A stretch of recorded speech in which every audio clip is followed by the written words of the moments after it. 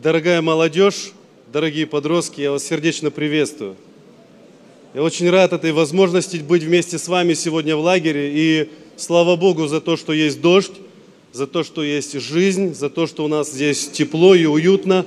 Вот. Я, прежде чем, друзья, будем прикасаться к теме, о которой мы сегодня будем рассуждать, позвольте несколько слов сказать о важности общего пения.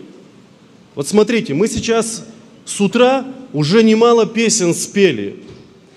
Вот чем отличается песня от проповеди?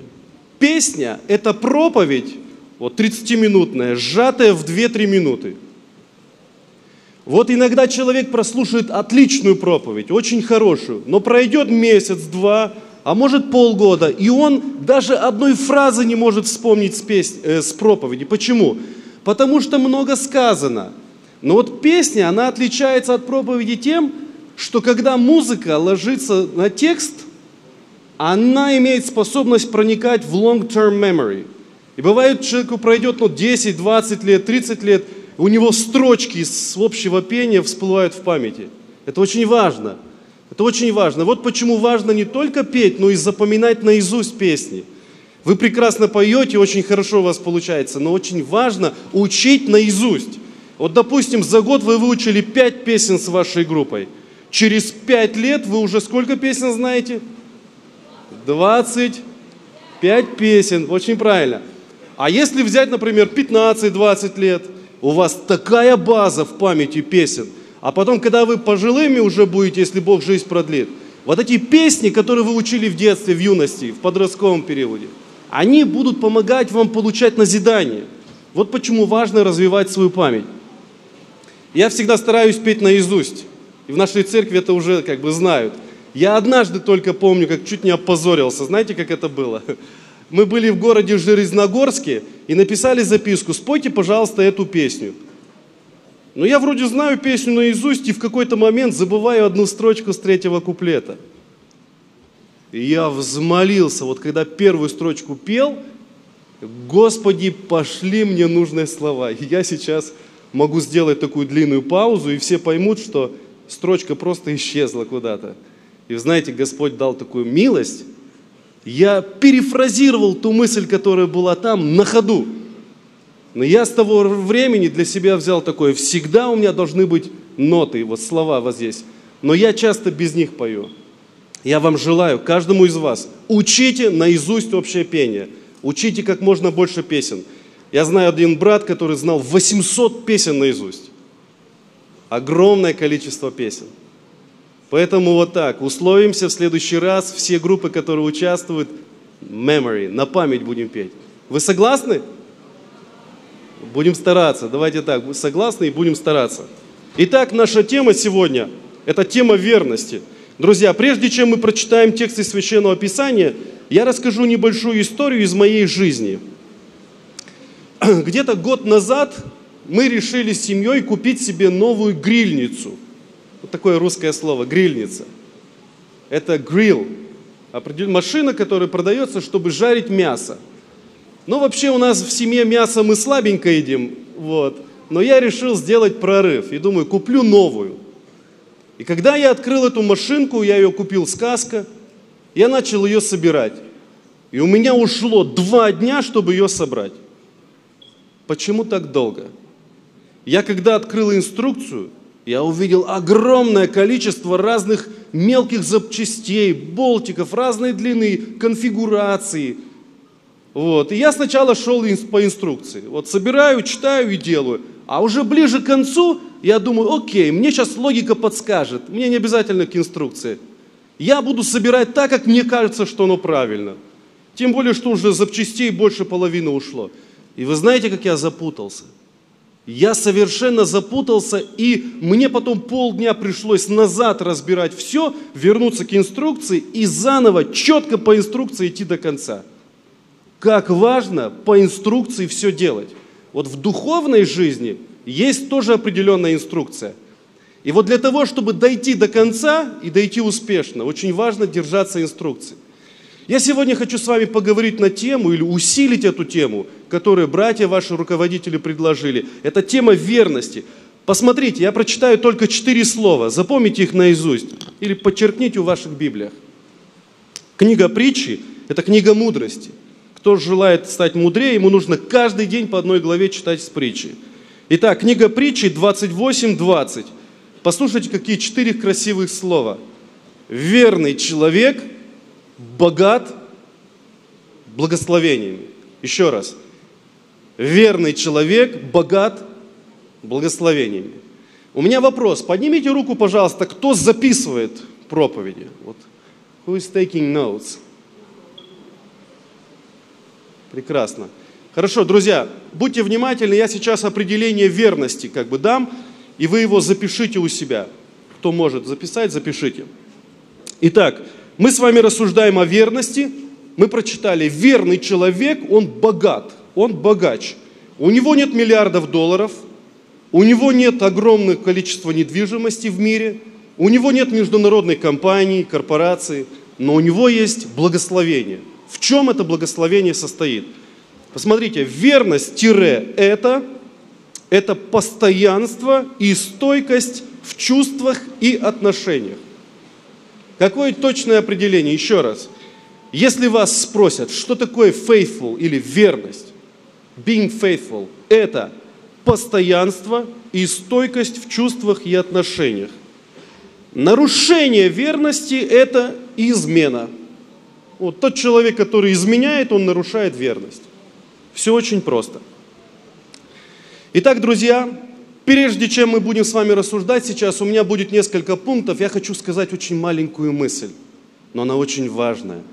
Однажды Давид, когда посмотрел вокруг себя, посмотрел на людей, которые его сопровождают – на его царство, на его кабинет министров. Знаете, что он однажды сказал? Как мало верных на земле. Это он сказал в Псалме 11. интересно, почему такое заключение? Верных людей на земле очень мало. Верующих, друзья, очень много. Миллионы сегодня людей верующих, но верных из них очень мало – и вот он смотрел вокруг себя, он не знал, кому доверить свое сердце. Один обманывает, другой предает, а третий делает вид, что он друг, а через некоторое время он резко уже не друг. У вас бывало такое, что вас друг предавал, проявлял неверность к вам? Вот мы об этом сейчас порассуждаем. Итак, это была маленькая мысль, что верных людей очень мало, именно поэтому мы сейчас рассуждаем, и наша цель, чтобы каждый из вас, друзья, сегодня принял решение быть верным Богу. Being faithful to God. Хорошо. В чем выражается верность? Первое, запишите. Верность – это постоянство. У меня вопрос. Вообще, кем вы восхищаетесь по жизни? Молодежь, подростки. У вас есть люди, которые для вас герои? Вообще герои бывают два вида. Есть герои близкого плана, а есть герои на дальнюю дистанцию. Ну, например, есть люди, которым я подражаю в нашей церкви. И каждый раз, когда я прихожу в черч, я смотрю, есть этот верный человек в церкви, обычно верный человек всегда на собрании. Это герой близкой дистанции. Обычно это пожилые люди – мне нравятся дедушки. Мне нравится с бабушками разговаривать, с дедушками, потому что у них есть мудрость. Они иногда делают вид, что они не совсем понимают, о чем идет речь. Но поверьте, у них компьютер работает очень-очень хорошо. Они все прошли, все знают, у них есть хороший опыт. А есть герои верные на дальнюю дистанцию, которые, например, жили в 18 веке или в 19 веке, и мне очень нравится читать биографии верных людей, братья и сестры, друзья. Первое, что мне всегда удивляет и восхищает в человеке, это постоянство. Смотрите, вы постоянные люди или не постоянные? Are you flexible? Are you, uh, ну, как, как можно сказать, consistent in your patterns в вашей жизни? Это очень важно. Однажды вот один пример приведу из Библии. Была такая семья под фамилией Риховиты – ну, может, фамилия или как сегодня так проще для нас. Однажды их отец давным-давно собрал всех в доме и сказал, дети, не пейте в вашей жизни вино. Вам запрещено пить вино. Постарайтесь, чтобы ни вы, ни ваши внуки, ни подростки, ни молодежь, никто никогда не подносил к рту чашу, в которой есть вино. И он им объяснял, говорил, что когда человек пьет вино, он начинает путаться в сознании. А если он путается в сознании, то сатана может войти в его сердце. Потому что сознание – это как сторож, вот как security, которые вчера переставали. Сознание, оно человека защищает от всего того, что может ему повредить. Это логика, это мысль, это чувство, сознательность, долг, вот и все. И вот он им сказал, и вы знаете, у него авторитет был очень высокий. И дети сказали, хорошо, папа, мы тебя будем слушать. И вот прошло 10 лет. Эти дети уже стали взрослыми, они поженились, у них появились свои дети. И они своим детям тоже сказали, не пейте никогда вина. И вот однажды над ними был сделан эксперимент. Библия говорит о том, что их позвали в Дом Божий. Представьте себе, вас позвали в церковь, завели в братскую комнату, а эта комната была комната Господня. Там прямо написано, что это было место Господне. Я даже могу зачитать. Смотрите, куда их завели. «И перевели их в дом Господень, в комнату сынов Анана, сына Гадолии, человека Божия. И поставили перед ними полные стаканы вина и начали их испытывать. Пейте вино. Но кто-то из них мог бы подумать, ну ладно, дома нельзя, но это же церковь, раз здесь говорят пить вино, значит можно, попью. Но нет. Несмотря на то, что они находились в самом святом месте, один из них сказал так, наш отец, который жил давно, он сказал нам, не пейте вина. И мы постоянно держимся этого, этого повеления. Друзья, посмотрите, прошло 10, 20, 30, 40 лет, может быть. Эти люди были верны своему слову. А я хочу спросить вас, у вас бывает так, что вы, когда вы находитесь в церкви, вы верные, самые верные из всей группы, из всего класса, вы готовы ради Господа страдать и выдерживать испытания десятилетиями. Но когда вы попадаете в школе в какую-то компанию, может ли быть такое, что вы начинаете скашивать углы? Окей, но сейчас меня никто не видит, можно немножечко погрешить. Я знаю, что говорить плохие слова нельзя – но сейчас вокруг меня все говорят плохие слова. Ничего не будет, если я пять минут погрешу. Бывало такое или не бывало? Можете не отвечать. Конечно же бывало. Бог вас будет испытывать на постоянство, друзья. Но очень важно, чтобы вы были верны. Вот смотрите, то, что Богу не нравится, не нужно делать никогда – и вот сейчас в вашем возрасте вы закладываете определенное решение. Примите решение сегодня быть постоянным верным Богу. Это очень важно. Это очень важно не только с друзьями, но и в семье, особенно когда вы перед компьютером находитесь, или, возможно, когда вам показывают какой-то грязный ролик, найдите в себе силы сказать, я не буду пачкаться, я хочу остаться чистым, я уйду в сторону. Если вы будете с постоянством это делать, то Господь вас благословит. Я помню один пример, который прочитал, может быть, в журналах лет 10 назад. История была такова. Смотрите, недалеко от Сакрамента есть город Лос-Анджелес. Все знают, где этот город находится, может, кто-то проезжал мимо него. И вот знаете, в этом городе давным-давно жил один удивительный человек. Знаете, как его звали? Его звали Артур Уинстон. Он 76 лет подряд проработал в общественном транспорте Лос-Анджелеса. Он работал в школе, где были э, э, автобусы школьные. И знаете, что он их делал? Он их мыл. 76 лет подряд. И за все 76 лет он только один раз пропустил рабочий день. Это было в 1988 году, когда умерла его жена, и он пошел похоронить ее. И вот когда он умер в возрасте, в возрасте 100 лет, вот э, Билл Клинтон, он был в то время президентом, он ему прислал такой сертификат, на котором было написано «Лучший сотрудник века». Представьте себе, 76 лет подряд каждый день делать одно и то же. И за 76 лет пропустить только один день. Вот это постоянство. Что это? Это верность. Когда человек принял решение что-то делать, и он постоянно делает одно и то же – а бывает еще и так. Человек начал учиться, потом поменял один major, второй major, третий major, а потом взял break и думает, через год я вернусь на учебу. Здесь начал зарабатывать, А потом, когда уже 30 лет, он понял, что зарабатывать мало, он возвращается обратно в колледж и сидит уже с лысинкой, все учатся, молодые такие, знаете, 17-18 лет, а ему лет 40, он возвращается в колледж. Потому что нет постоянства. Потому что начал, бросил, начал, бросил, взял одно, бросил, а потом осваивает 18-ю профессию и в конце концов выходит на вторую работу, потому что мало зарабатывает. Друзья, возьмите для себя в своей жизни быть верным – Верность выражается в постоянстве. Если ты что-то начинаешь делать, делай это долго. Мне очень нравятся люди, которые взяли что-то и делают его на протяжении многих лет. Я таких людей очень уважаю, сам стараюсь быть таким.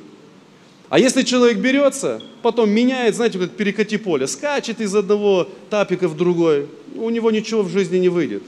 Верный человек – это тот, который постоянно делает и всегда в этом пребывает. Я буквально недавно слушал интервью Уоррена Баффета. А, он рассказывал, как он уже 70 лет занимается инвестициями. И он сказал такую фразу, но она мне очень понравилась. Я каждое утро делаю одно и то же. 70 лет. Вы можете себе представить, ему уже сейчас за 90, а в возрасте 11 лет он впервые начал инвестировать. И я подумал, если человек, чтобы разбогатеть, проявляет такое постоянство, тем более мы, которые служим Богу, Бог сегодня хочет от нас постоянства.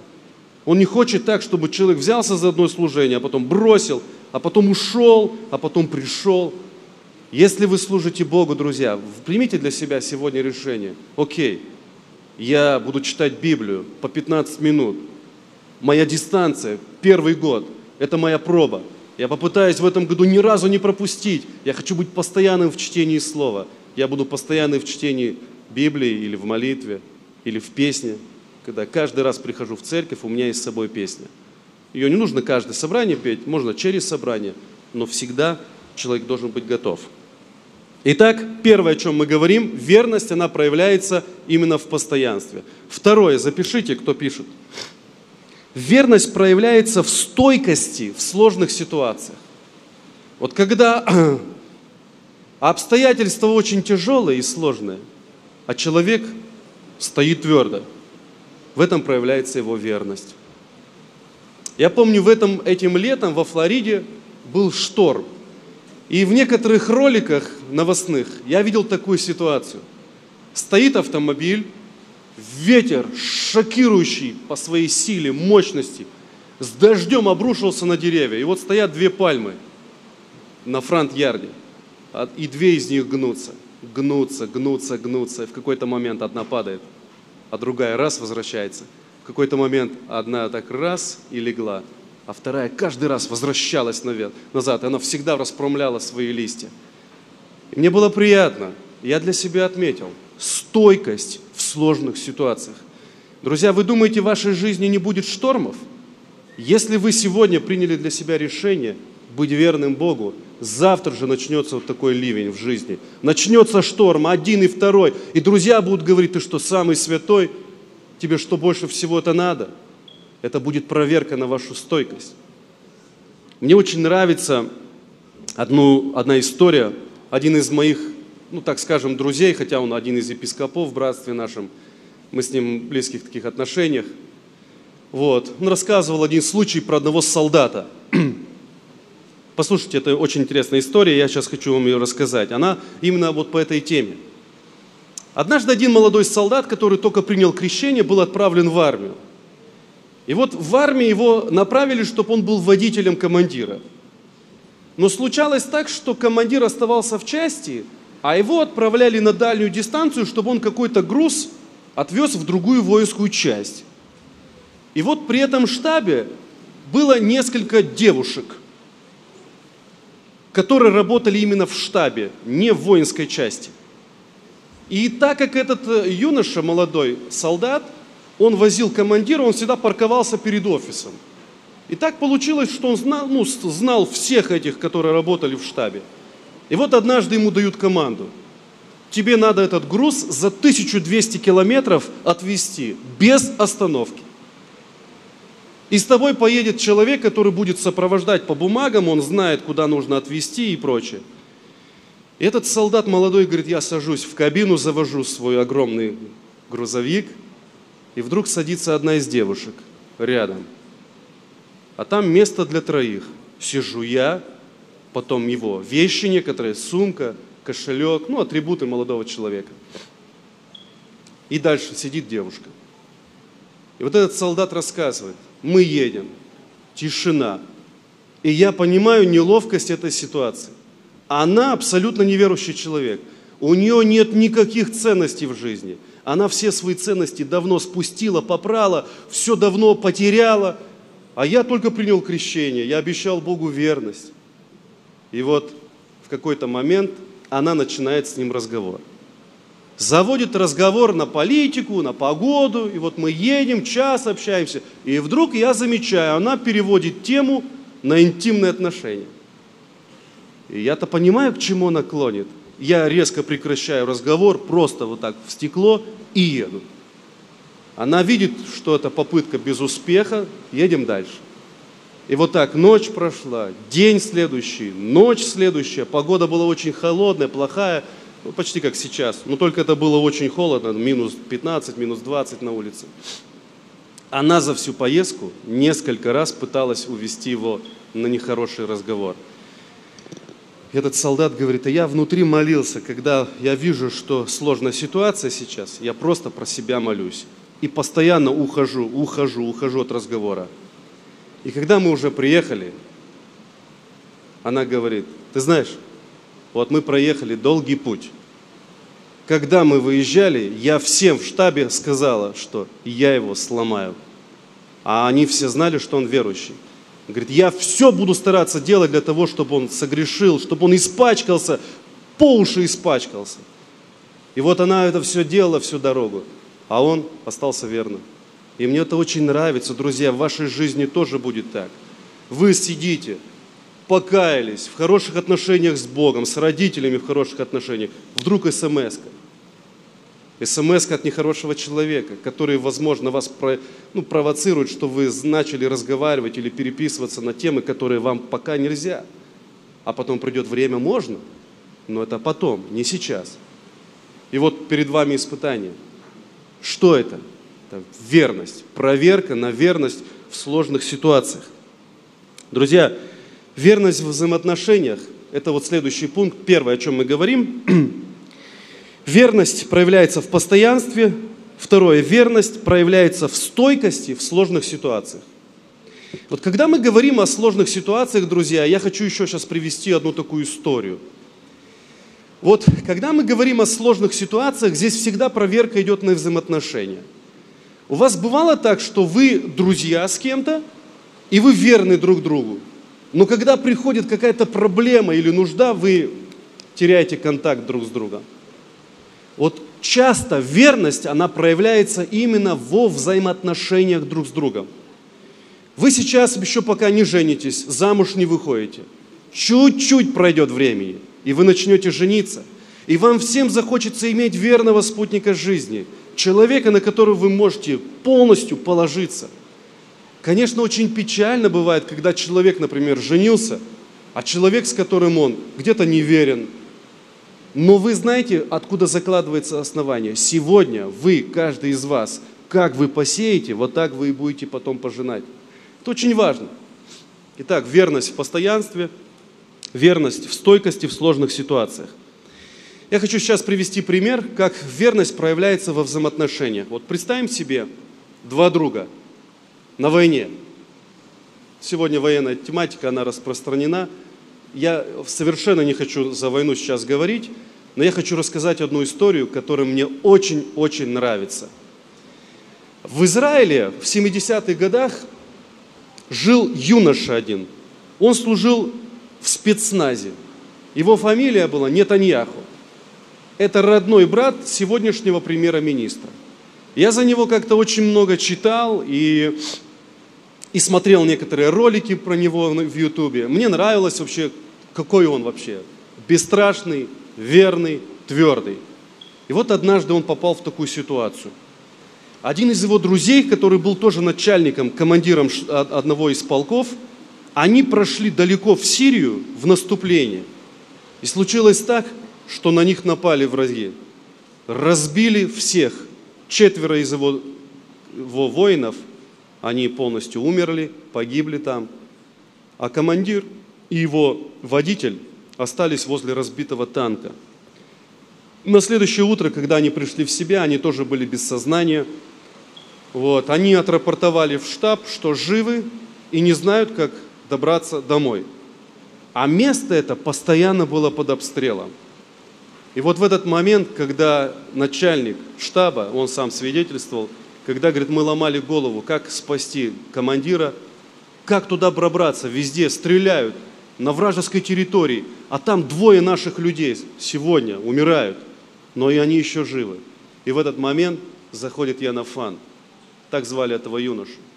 Он зашел, у него одежда была вся грязная, он только вернулся с одного задания, и когда он услышал про это, он понял, что его друг в опасности. И он обращается к командиру, говорит, доверь это дело мне. Я знаю, где они находятся, я проберусь и спасу. И вот они на двух броневиках под обстрелом доехали до этого места. Эти двое раненых ползком добрались до машины, и под обстрелом они их загрузили в машину и добрались до Израиля. И вот когда этот, которого спасли, он говорил так, уже когда погиб этот Янафан, а он в следующей операции был сам в числе погибших, он рассказывает так, у меня родилась дочь, и я ее назвал Йони. Это короткая, short version of long name, Йони. Говорит, каждый раз, когда я зову эту девочку, и она выходит из другой комнаты, он говорит, я вспоминаю своего друга, который меня, находясь на вражеской территории, тяжело раненого, вынес из-под обстрелов. Он спас меня ценой своей жизни. Удивительный пример, удивительный пример. Друзья, верность проявляется именно в этом. Сегодня очень часто друзья кидают друг друга. Верные, пока все хорошо. Пошло что-то не так, да, у меня есть еще 10 других друзей. На Фейсбуке открываю страничку, у меня там 700 друзей, а в реальности ни одного из них. То, что в Фейсбуке или в Инстаграме показаны друзья, это не означает, что они еще your friends. Они просто люди, которые идут рядом с вами. Вот и все.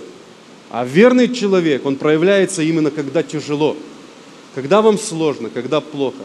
Верность проявляется во взаимоотношениях. У нас еще пять минут есть. Я хочу рассказать еще последнюю такую историю, друзья. И потом мы будем молиться. Верность своим принципам. Итак, это четвертый последний пункт.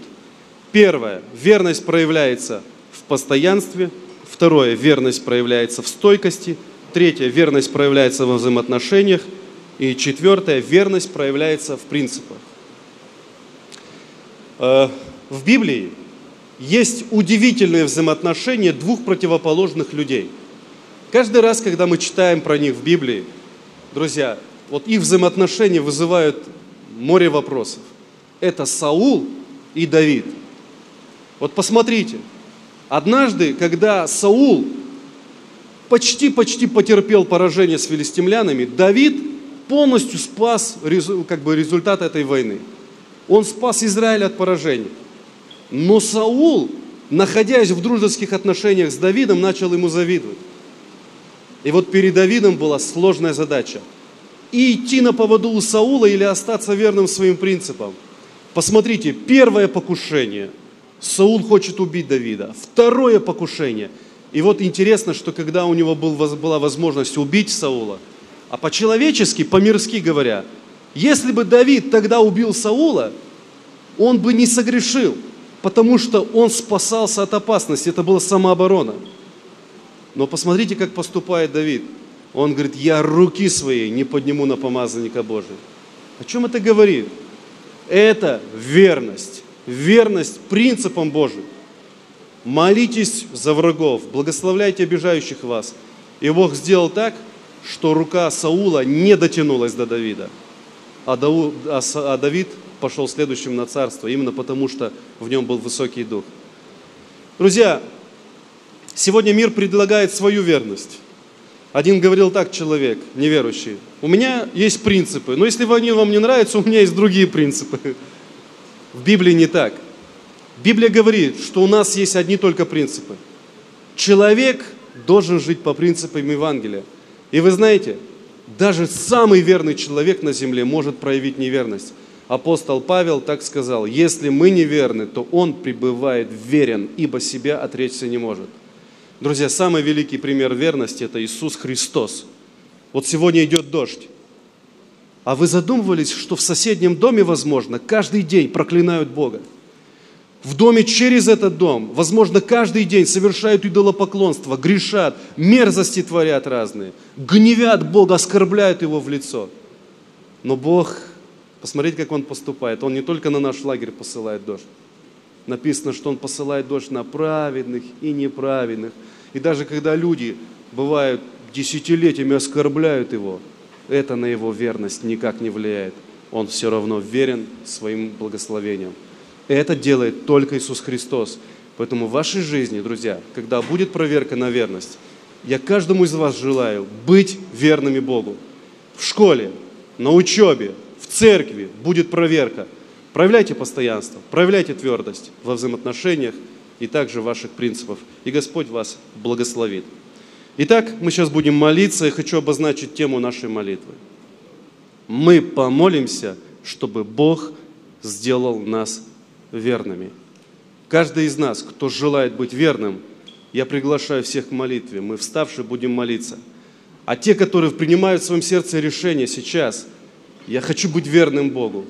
Я хочу до конца служить Ему. Я хочу быть верным Ему до смерти. Друзья, проходите вперед, помолитесь вслух. И вот когда вы будете молиться, вы будете давать Богу обед, обещание, и Господь вам поможет это совершить. Призываю, во-первых, мальчиков, Ребята, пройдите. Самое важное качество в мужчине – это отважность, это смелость. Пройдите, будьте смелыми, помолитесь Богу, и мы вас поддержим. Девочки, проходите также. Кто желает помолиться Богу, кто желает быть верным Богу. Проходите.